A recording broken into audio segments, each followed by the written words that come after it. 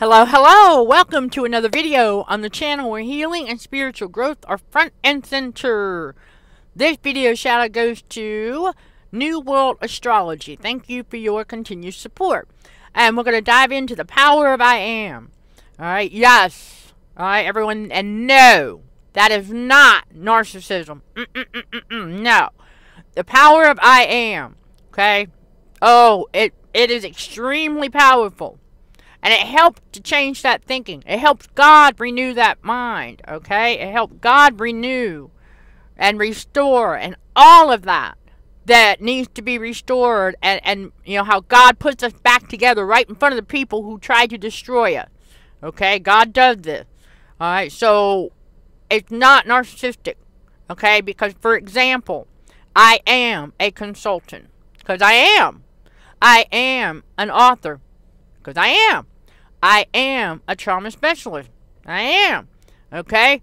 That's just to help you all put it in perspective. I am a coach. Okay? I am a child of God. Okay? That's just, that's not narcissistic. That's knowing who you are in Christ. Okay? That is not narcissistic. That's knowing who you are in Christ. I want everyone to let that sink in. Alright? So, where did God say it? Exodus 3.14. Exodus 3.14. I'll give y'all a second to pull that up if you wish, because that's where God introduced himself to Moses. Or he actually, you know, stated his own name for the first time. Okay? So, because the, it's the power of I am.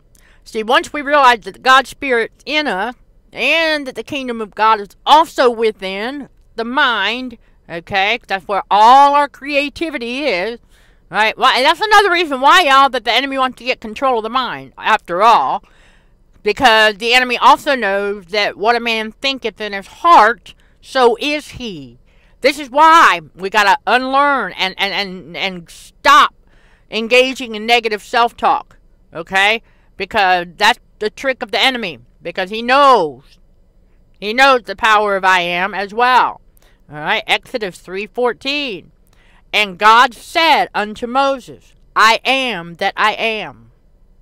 And he said, Thus shalt thou say unto the children of Israel, I am hath sent me unto you. That means that God has been sent unto them. So, God sent him, and he was to tell the children of Israel that it was God who sent him. Okay? And remember something in the Old Testament, you all, at that time, the Spirit used to come on. Okay? Uh huh. Yeah, God's Spirit used to come on. When Jesus died on the cross, now the God Spirit's within. Alright? There's God's spiritual truth. In the Old Testament, it used to be where the Spirit would be on. Okay? But when Jesus came, see, this is why God also tells us that in Scripture, where it, and it's in one, it's in one Corinthians, where if the enemy had known that that's what was going to happen, they would have never crucified Jesus, right? Let's stop and think about that. And so the enemy always fears the day that we discover it you know, that we're more powerful than we ever thought we were. And that's not, no, that doesn't mean, okay, a physical kind of power. Mm-mm, it's a spiritual power, you all. Remember, you know, we don't wrestle against flesh and blood here. All right, our battle is not carnal, it's spiritual. Okay, so that's what we're talking about the spiritual power, the God Spirit within, the Holy Spirit. Okay, and then with Jesus, with the Godhead. Alright, we have the power and authority to tell the devil to go pound sand. Tell his demon spirit to take a hike. Return to sender, okay? That we've got the power to do that. Spiritually. Okay? So I want to clarify that for you all.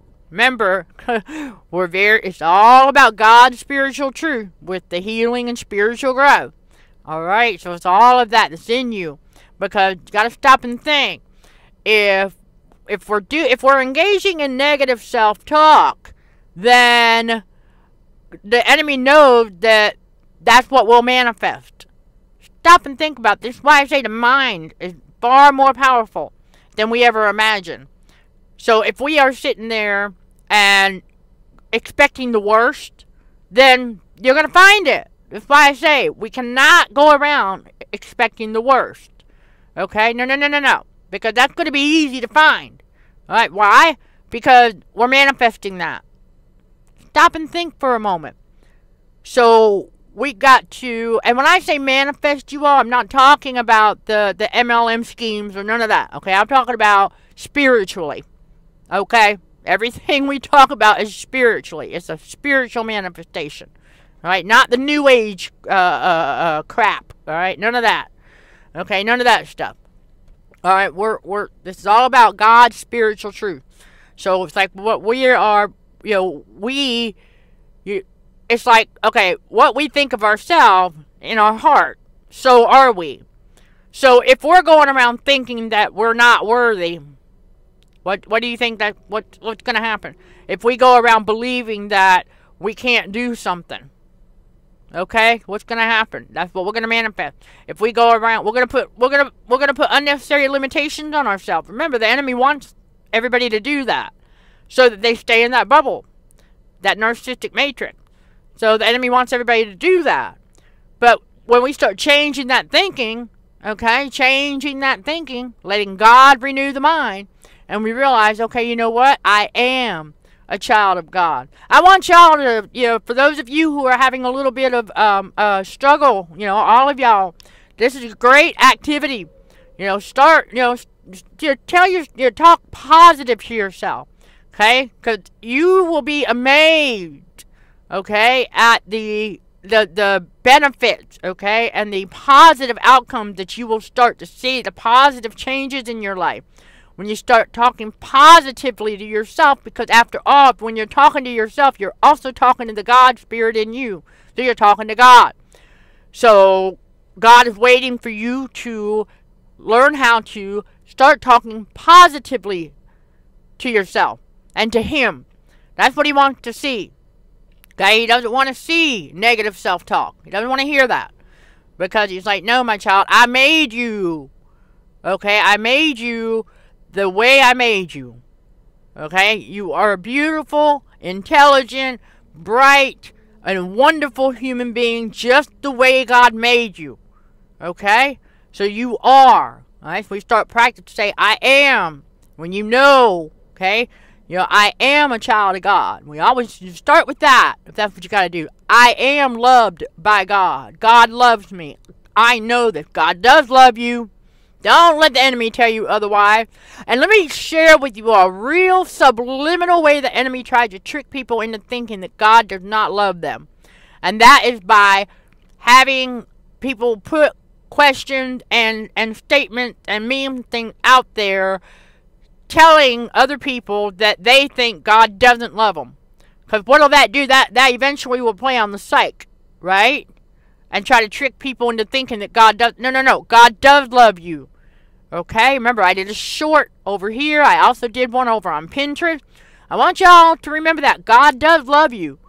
Alright, He would not have awakened you to help you, to shape you, and to mold you. He would not have stayed with you the whole time. He would not be protecting you if He didn't love you. Okay? He wouldn't have waited however many long years for you to come back home to Him if He didn't love you. Of course He does. God is love. Okay? And so you say, I am a child of God. That's right. Start speaking that out. Speaking it. Speak it. Speak it. Speak it. Positive talk. Positive talk. Okay? I am strong enough. Yes. I am. Yes. Whatever. I am a child of God. I am a writer. I am a painter. I am a chef. I'm a spiritual chef. Spiritual chef is in the house. All right, there you go. And thank you again, fellow warrior. That's awesome, kind of like nickname. I, I, I absolutely love it. Okay, I truly do. I am a spiritual chef. Yeah, helping people learn how to make a new cake with God's recipe. That's right.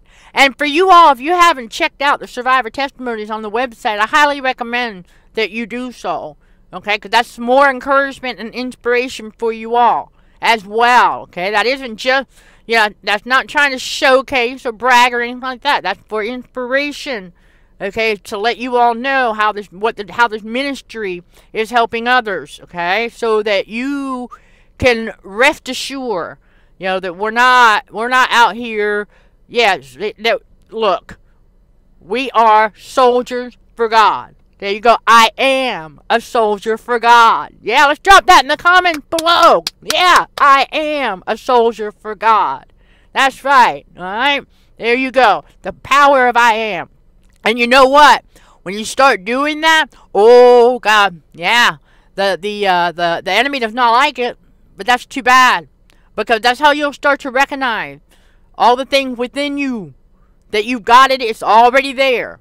Okay and we learn to stop engaging in negative self-talk because it's like that had no, you know, and I want to share y'all, this is why we need discernment. So I'm going to share with you all something that, you know, will when you have to learn how to deal with sleepers around you who don't know the world is a stage, you know, that's not a negative thing. It's just like, you know, just another process in and of itself. You know, that we have to, uh, it, it, oftentimes you'll learn to deal with them by not dealing with them. But I think what, for many of us, at a certain point in our spiritual awakening, it just really started to become more obvious and more evident just how many out there around us have no clue how many are crept in unawares. You know, and I'm talking about, you know, whether it be in our family, at, uh, you know, at the, at the workplace, uh, wherever and we start to notice how how many are still uh, sleeping, uh, and they and they just don't know because they're spiritually dead. And so it takes a little while to process that. Okay, so if you if we make a statement like that, it's like, wow, yeah, it's been quite an uh, interesting journey in learning how to uh, deal with those who have no idea that the world is a stage. That's not negative. That's just pointing out a a, a, statement of, of, of fact, really, when you stop and think about it, because you know they are sleeping. so you have to learn what not. Ah, uh, here's the number one tip that we often give on this one is we learn what not to give them access to, because they're working for the enemy. We learn what not to give them access to. That's right, and we learn that we cannot have highly spiritual conversations with them. Goes over their head, okay, every single time. No matter how how hard they try to convince us that they understand spiritual truths or spiritual aspects, but then you mention a specific of the spiritual, like spiritual energy or uh, uh, uh, demon spirits, whatever, over their head. Okay, you all? Seriously. Or spiritual realm, over their head. I, I, I'm telling you. so you just learn to walk away. Gotta walk away. Alright, but, and don't let them try to, see, whenever they get the look of confusion on their face, y'all, they're just trying to make us self-doubt, right? Not gonna work. We walk away because, you know, God has already revealed to us, you know, His spiritual truth, and He continues to do so. And so, also, by teaching us the power of I am, okay? And it, though, the reason, y'all, that's not narcissism. Okay, because narcissism is the complete opposite. It nar- the abuse is designed to do the opposite of everything God wants to do. Okay? So all the good and all the blessing and all of the things that we're going to build in the kingdom of God with the kingdom of God. Seek ye first the kingdom of God, right? I am a child of God. Seek ye first the kingdom of God. Okay? It's not narcissism. That pleasing the Godhead, not man. Okay, you got to please the Godhead, not man. Because we often, we all now know that what that has done for us by going around trying to be people pleasers all the time like that. And I know there's some people out there who don't have a problem being one. You know what? That's on them. But as far, you know, whatever works. But as far as as far as us, we realize that we've we've been taken advantage of far too often because of that. All right, we we are we are done being doormats to other people. Okay, we're done being their doormat, letting them walk all over us, take advantage of us. Mm-mm, we learn to set boundaries. You know, just as a reminder, real events of narcissistic abuse, everyone. You'll, yeah, there's nine. Just that. This is just the beginning. okay, this is just the beginning. You know, because I got more case studies and everything like that. All right, and and as always, the link to all this stuff is going to always be in the video description below. So also take take a quick look over there at CHA Academy as well if you want to learn how the trauma bond is formed and, and, and how how it is just like a drug addiction. Alright, that link is in the video description below as well. So, you know, we want y'all to be able to get some education. And it's fun, laid back. You, it, you can complete the course within a year on at your own pace. There's nothing, it's not uh, onerous okay, meaning burdensome. It's not, uh, it, it, it's simple in its simplicity, okay, basic scientific fact with God, biblical truth, okay, God's wisdom. And so that's what we've done over there to help you all understand more of why it takes a while to break that trauma bond as well and how to how to deal with the withdrawal. And also we've got a chapter over there all about how the overinflated ego opens up portals for unclean spirits. Mm-hmm. There's a connection. Yeah. All right. Now, but that's in the course. All right, everyone. As always, if you have any questions, you know where to reach me for additional insight, information, and other good stuff. Check out these videos right here. Sending love and light to all fellow warriors. Thank you for watching and for your support. Until next time, let's show some gratitude to the Heavenly Father, and you keep being you. In Jesus' name, amen.